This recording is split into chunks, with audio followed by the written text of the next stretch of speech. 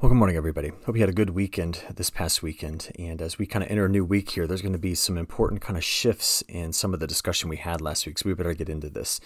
The first thing is that uh, we've been watching for a while on the forecast models the development of this tropical system off of the southeast coast. Remember, I was a bit you know, confused, I think, when looking at the forecast whether or not this was going to have full on tropical characteristics or be more of one of those hybrid systems where there's still a cool upper level core to it. But regardless of that, we need to watch how much precipitation will be coming from what is now known as Tropical Depression number eight, could be named Helene uh, later on today. We'll talk more about that in a second.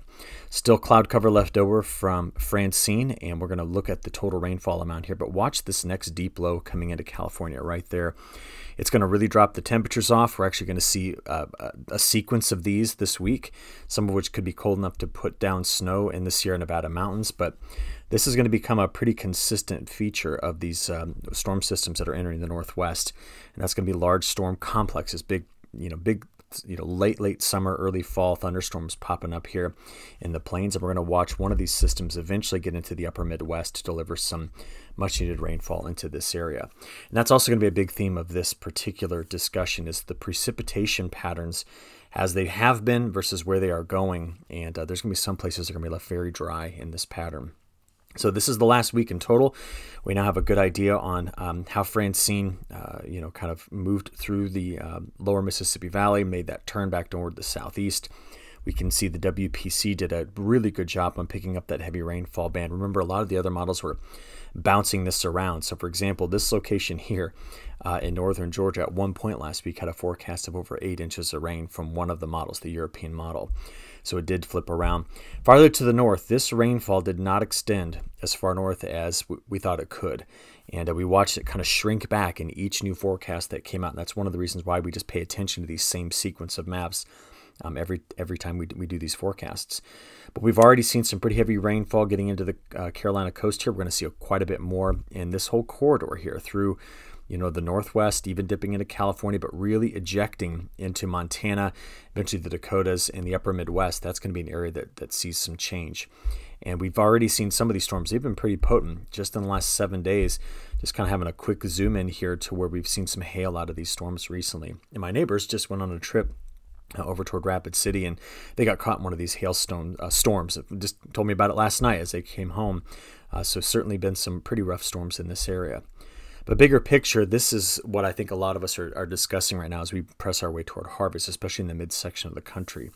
If you just take a look the last two weeks on the percent of normal precipitation, and unless you were in central Texas or caught up in uh, Francine's moisture or where the stalled out frontal boundary was in Florida or, or about to get the rainfall from um, you know what could be Helene or in that trajectory here. Everywhere else, I know I just picked out five spots, but whatever.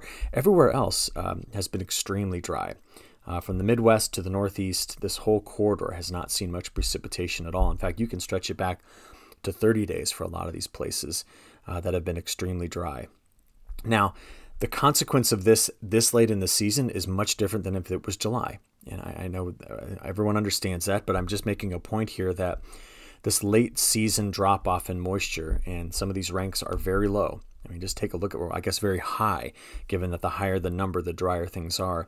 You know, this has been a major, major, having a major impact on our concerns about going into fall drought that can carry into winter and what that might mean, you know, as we get into next spring.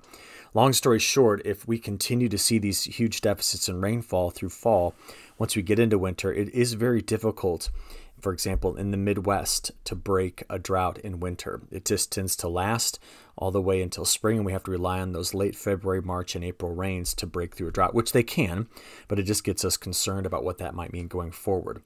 And one of the big discussion points I heard over the weekend in the midsection of the country was about soil moisture. So if we just have a look here at the latest 40 centimeters, that's 16 inch uh, soil moisture data from NASA.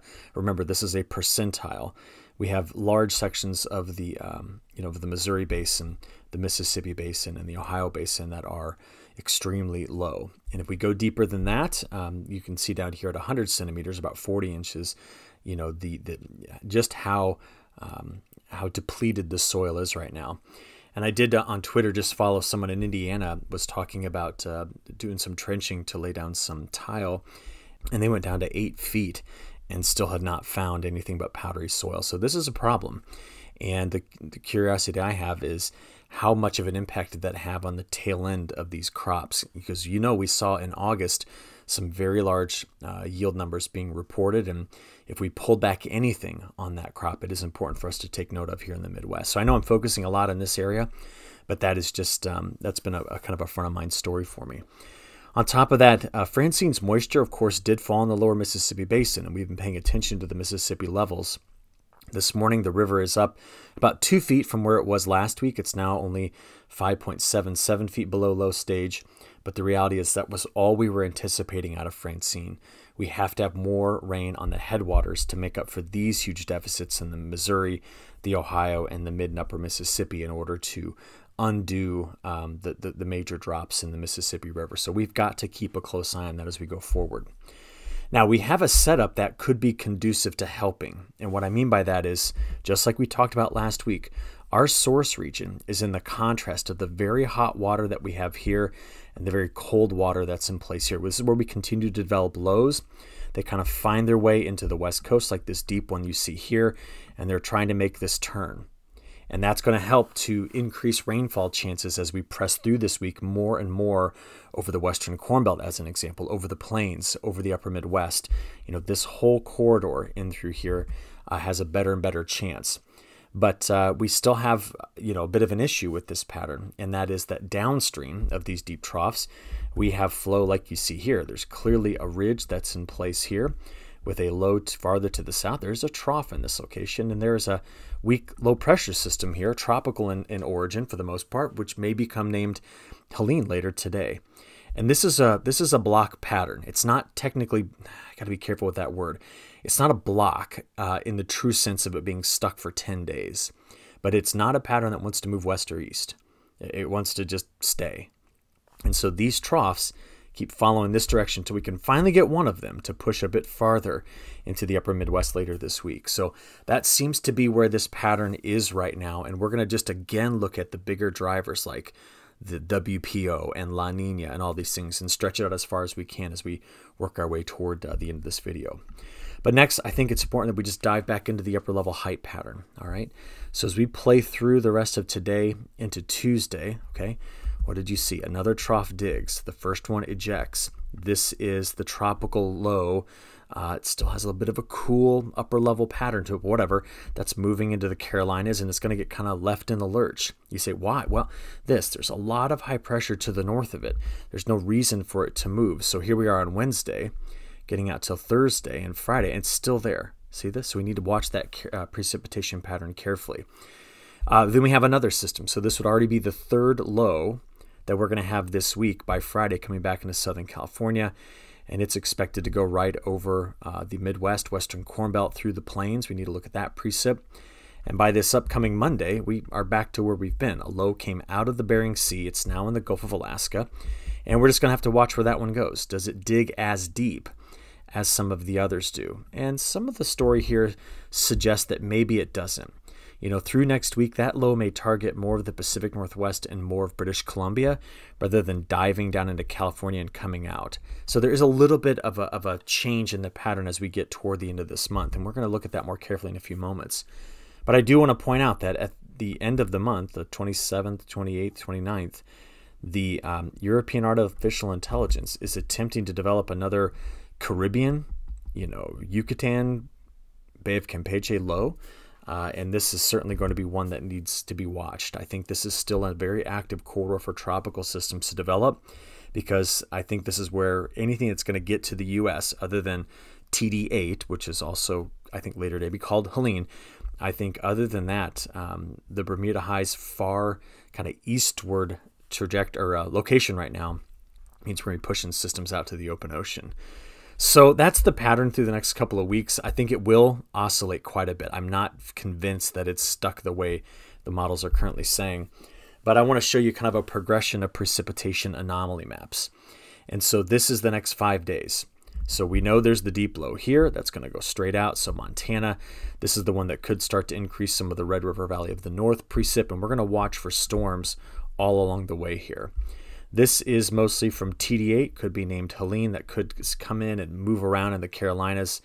But outside of that, there's a pretty large corridor in through here that's, let me draw that a little better. That's probably not going to get much precipitation at all out of this pattern for the next five days. By the time you add on day seven to that, so six and seven, that's the next low coming out of the plains I mentioned. And we just take it all the way out. That's a 10 day forecast for precipitation anomalies from the high resolution uh, European model. So I still continue to see an area that has been very dry lately staying dry. And that's going to be a concern if you look out here at this pattern coming up.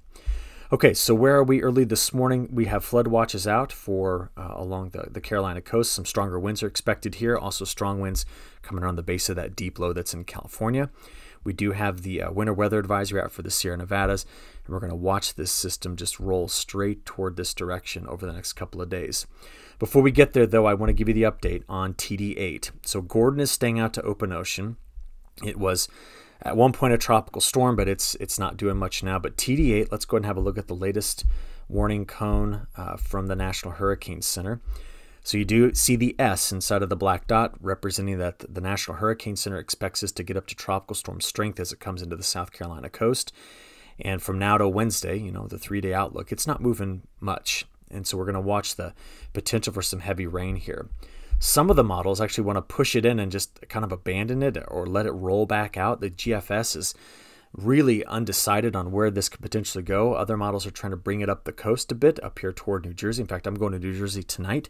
Looking forward to talking to our East region tomorrow uh, in uh, in East Brunswick here. So, but we're going to watch this. Uh, you know, we're going to watch this system carefully to see how much rainfall it can deliver into this region. So we do have out right now a slight risk for excessive rainfall. This is the type that can easily cause flash flooding and more widespread flooding. And we'll get the totals in a moment. But I do want to point out that there is the risk of stronger storms with this coming in as well. So today we got to keep an eye on this part of the northern plains. We'll watch this wave leave and possibly deliver some strong storms for corner states.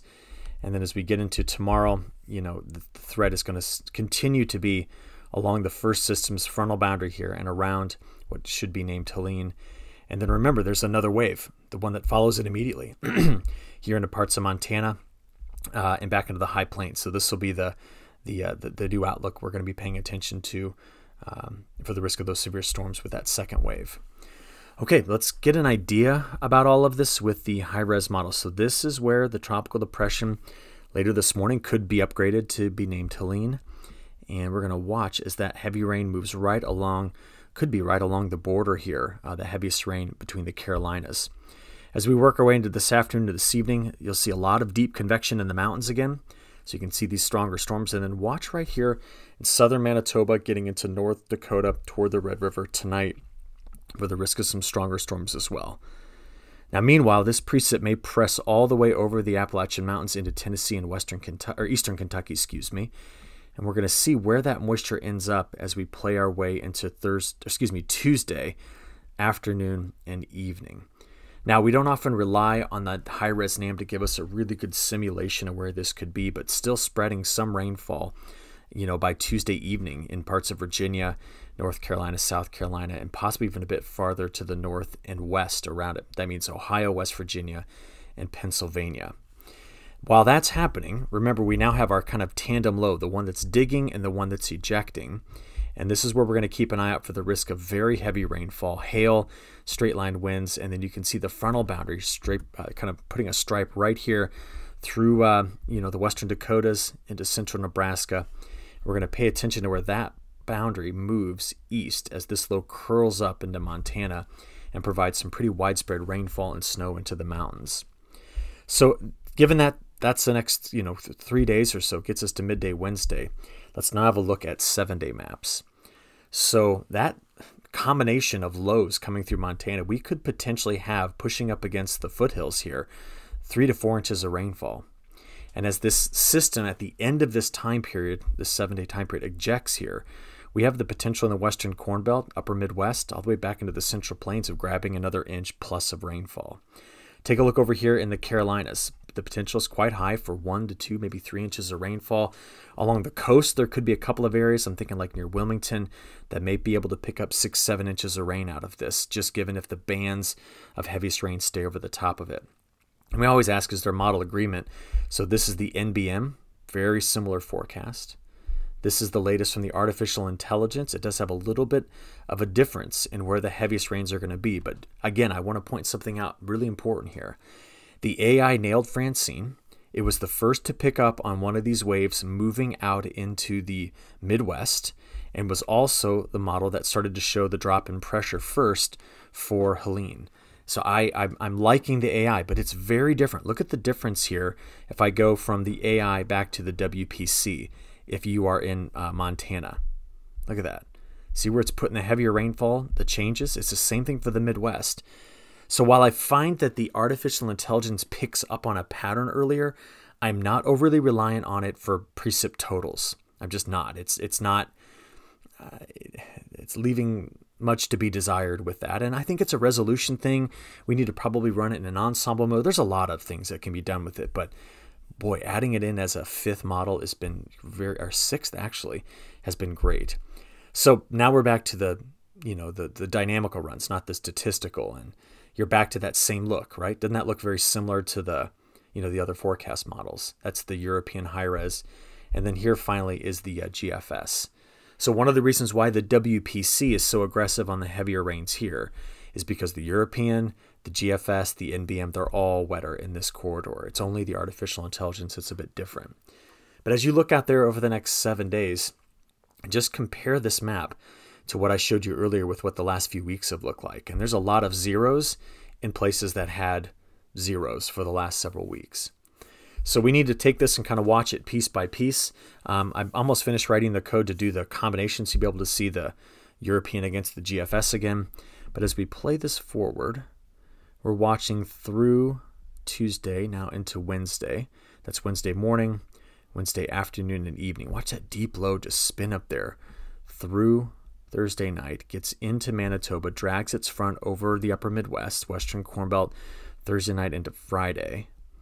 And all the while, this is still some of the remnants of uh, of Tropical Depression 8 or Helene still sitting over here. That's what I meant. It's not moving anywhere, but it's only around there for about five or six days. Then there's the next low that dips in. This would be Sunday. And that one goes right over the top of the same area. And then remember, we kind of changed the trajectory into next week with more of British Columbia, coastal Washington getting hit by the flow. See it?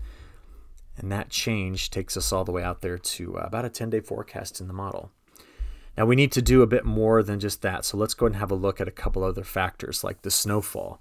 The seven day snowfall totals, we're going to get some snow in the Sierra Nevadas, some of the high elevations in Nevada, and then some of the Rockies here could have the potential for picking up plenty of snow given how cold this is going to be. And the winds with this are going to be quite strong as well. With each system that comes in, we're going to see increased chances of bringing some strong winds out of the Great Basin into the plains. I mean, we could get in Montana over the next 10 days multiple chances at 30, 40, 50 mile an hour wind gusts. Same thing for the western plains. Meanwhile, if you're along the Mississippi here, the Ohio River Valley, these systems are not getting to us and as a result, relatively benign conditions overall, drier forecast overall, unless we can get one of these fronts to sweep through and bring in a chance for rainfall. But overall, you saw, I mean, let's go back to it again. That's the seven day outlook for total precip. And I, li- I like the WPC. I think it's a good product put out by the National Weather Service and a very useful one at seeing you know rainfall out that far. But uh, if we did do this, let's just open this in a new tab because I want to zoom in there close and show you the southeast. Whoops, sorry about that. Let's click there. And this is going to look at what these winds are expected to be in the Carolinas. So some 40 to 50 mile an hour gusts are possible out of um, Tropical Depression 8 or, or Helene as it comes in. All right, back to the probabilities on rainfall. This is the new European ensemble chance at an inch. So you can see the color bar. We can find our, our wettest corridors. Uh, let's go find the dry spots next. Let's say who's going to be under a tenth of an inch. Yep, got a new model run in. There we go. Let's take this back out. That is your probability map for under a tenth of an inch. And now you can see that arrow I drew earlier right in through there. That's our drier corridor over the next, um, you know, over the next 10 days. I guess you could also include part of the southeast in here. Columbia Basin is drier too. But if we look back on the wetter side, there's the one inch two inch, I mean, we have the chance. There's a better than 50% chance in here of two inches of rain, according to the European ensemble in the next two days. And these much higher amounts here shown up in the ensembles as well. And let's go on up to four inches. And now we can really kind of see here that parts of the southeast, you know, we've really got, um, you know, the risk of, of some very heavy rains along the Carolina coast and in there to the border between North and South Carolina. All right, from this point forward, I want to give you an update on something I'm watching in the tropics. I have seen some model runs attempting to do something in the Caribbean, something here pushing toward the Yucatan Peninsula over the next 10 days. And I just want to think about what this might mean. We've already seen that the Gulf of Mexico is very capable of, of building systems. I mean, Francine's our latest example. And if we do get something in here, just need to watch if it goes here or if it comes into Florida. But I still think there is something to be paying attention to down in the uh, Gulf of Mexico and in the Caribbean. So let's watch that carefully over the next 10 days together. From here, uh, let's look at the week two pattern. You can start to see that some of the models, like the European, the artificial intelligence, and the GFS, are all pointing at something bringing some tropical moisture in this area. The artificial intelligence, so take a look at this forecast for the week two time frame. It's very aggressive on increasing the rainfall totals in the central part of the United States.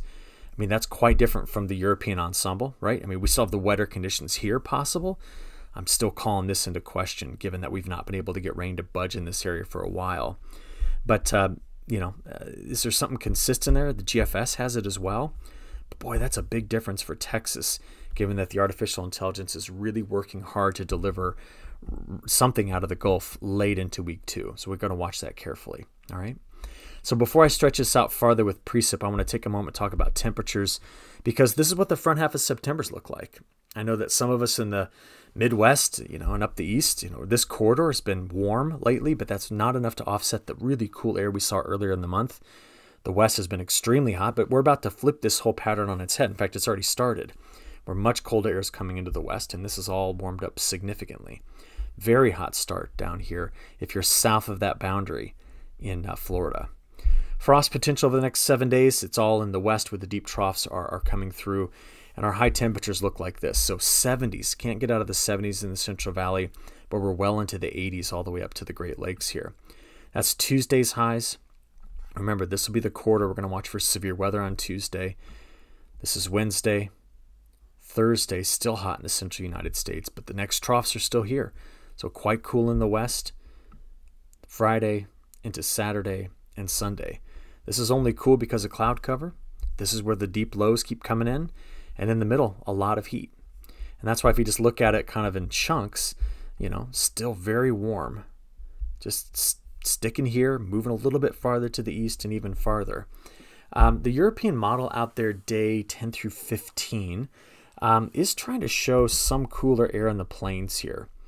But we haven't kind of shooken ourselves free or shake, shaken, whatever the word is. We haven't loosened ourselves from this pattern of deep lows in this area. It's just that's not happened yet. So this is still what's contributing to the overall pattern. That's that WPO signal. And we end up putting a ridge here. There's a complementary one over in Russia. This whole pattern is being repeated uh, in Europe right now as well. So let's think about the longer range and where this might go and talk a little bit of international weather too. We are continuing to see better and better La Nina type evidence in the pattern.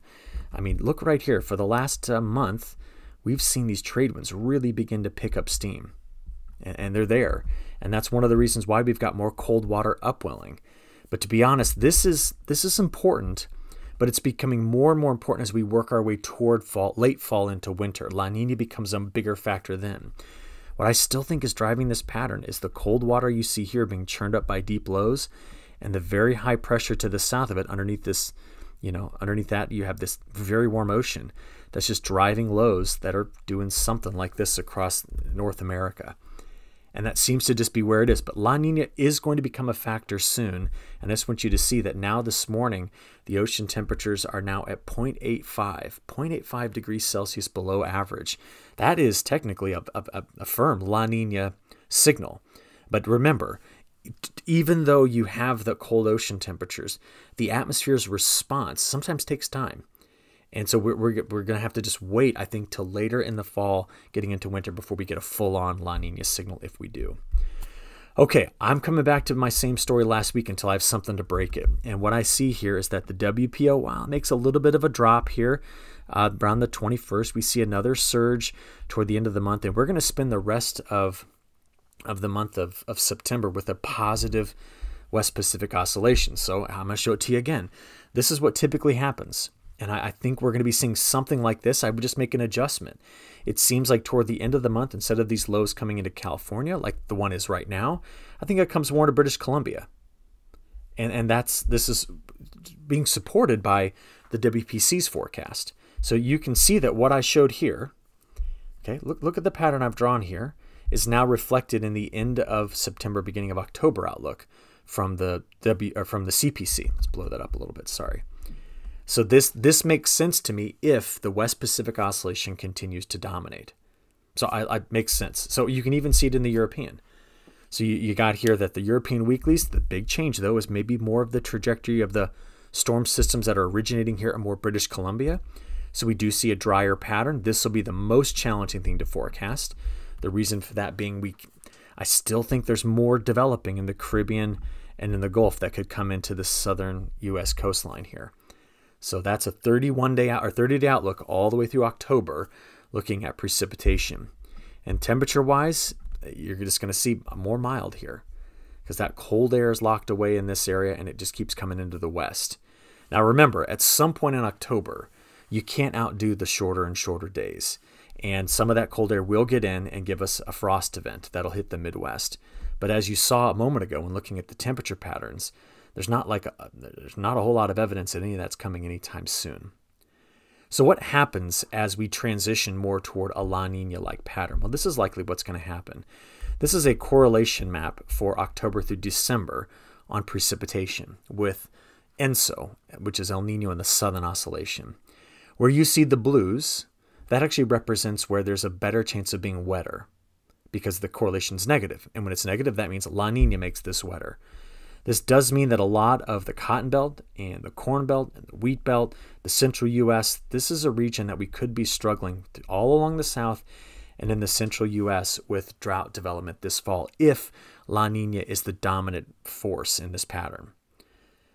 The temperature pattern looks something like this. And what it shows is wherever you see the warmer colors, that is actually the risk of being cooler. Okay, because you have to take the opposite of it because we have La Nina. So the correlation is you have to take the inverse, okay?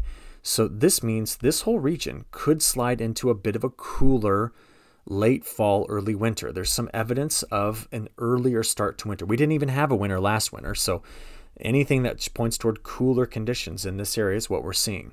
We tend to be more mild, where the bluer colors are more mild down here in the southern plains, the southwest. So, IRI, this would be the uh, NOAA's kind of forecasting arm that's through Columbia University. They, they partner, you know, they put out the new CPC forecast and they've upped it again. So, late fall, early winter, you know, November, December, January, 83% chance of having La Nina dominate. So we're going to continue to build the story. I showed you last week multiple times the European model solution and the um, National Multi-Model Ensemble. We'll get new data later this week, so we'll be sure to include that as well. But the last couple things I want to show you is maybe how in the near term and in the long term how the planet's going to respond. So as I said, we've got this repeating pattern. There's a low here and there's a low there. There's a ridge here and there is a ridge there. And that's the repeating pattern, sorry, over um, North America. But across the rest of the world, South America quite warm right now, uh, but the precipitation pattern remains quite dry throughout much of Brazil. Now, in um, Australia, I'm looking forward. I got to talk to a group here on Wednesday. Boy, look at this precipitation pattern here. This where the MJO is stalled out right now, and holy cow, it's moving a lot of moisture through that area. But in terms of South American rainfall, not a whole lot of difference from our story from last week. Still wetter in southern Brazil, some places very wet. This is a problem. This is too much precipitation in places. Farther to the north, we're quite dry. But this, as I finish up, is maybe one of the more important transitions we've seen. You go back 10 runs ago, what did I tell you through mid October was going to happen? I said, man, the European model was wet. Even five model runs ago, European model was wet. Well, this morning's model run, or the latest one that came in yesterday, it is not as wet through middle of October. Now, this is not yet at the alarming point that I'm like, whoa, whoa, whoa, big time drought settling in here. I, I still think we get a monsoon that starts and allows them to plant on time. But the European model did back off on how wet it was projecting things in this area. And now you start to see just a slight drier signal in this region. Now, is this anything to make a story out of? I don't think it is yet. I really don't think it is yet. They'll plant 80% of that soybean crop in the month of October. I'm, I'm not convinced that we have to be like, oh, they're going to have a terrible start. No, there's still moisture in this. It's not as though there is no rainfall, but when you look at these anomalies, it looks drier. But let me just show you the totals.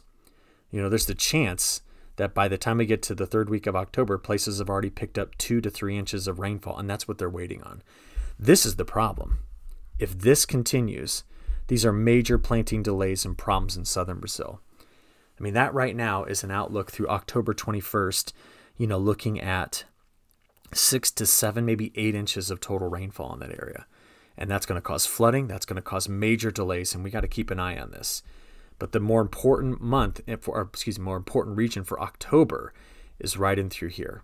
So just wanted to keep you aware of, of what we're seeing here in the longer range forecast models and some of these trends. But I'll, with that, I'll stop. So you have a good week. I'll talk to you tomorrow morning early from uh, New Jersey. Till then, you have a good one. Thanks.